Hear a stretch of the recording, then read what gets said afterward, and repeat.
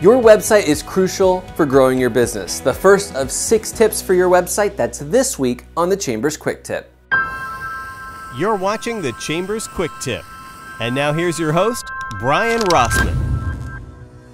Having a professional, comprehensive website is important for pretty much every business. Over the next two weeks, we're gonna look at six tips for making sure that your website is helping you grow. Tip number one is state your purpose clearly and quickly. You want to make sure that the written content of your website isn't long winded. Website visitors don't often spend a lot of time reading through pages of content just to find your basic information.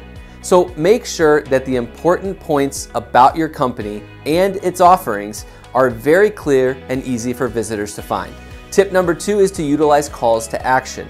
Another way to make your goals very clear to your visitors is to utilize calls to action.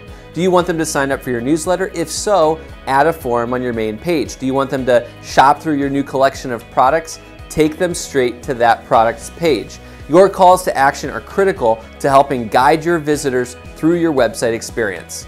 And you should make sure that all of your links are working correctly. Just one broken link can mean thousands of dollars in lost revenue.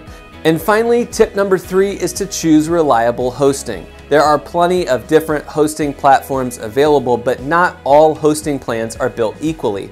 Shared hosting platforms are built so that you are sharing the server resources with thousands of other websites, which can mean slow load times and other potential problems. Be sure that your hosting company also performs automated backups so that you don't run into an issue where your site is down for an extended period.